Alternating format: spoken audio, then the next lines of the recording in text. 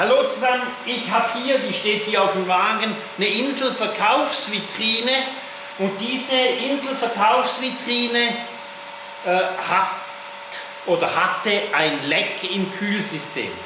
Kältemittelmann. Wir sind jetzt hier am Füllen, da kommt äh, R404 noch rein. Hier wurde also am 3.21. gefüllt und am 22.10. wurde wieder gefüllt und jetzt haben wir das Loch gesucht.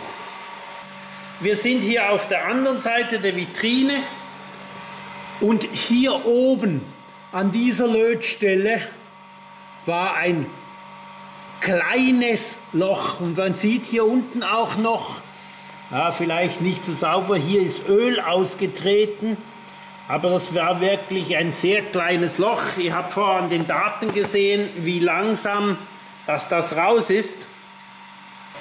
So sieht diese Vitrine von oben aus. Einfach eine Inselverkaufsvitrine. Ja, mehr kann ich zu dieser Vitrine nicht sagen. Ist Garantie, wurde durch uns geliefert. Unser Lieferant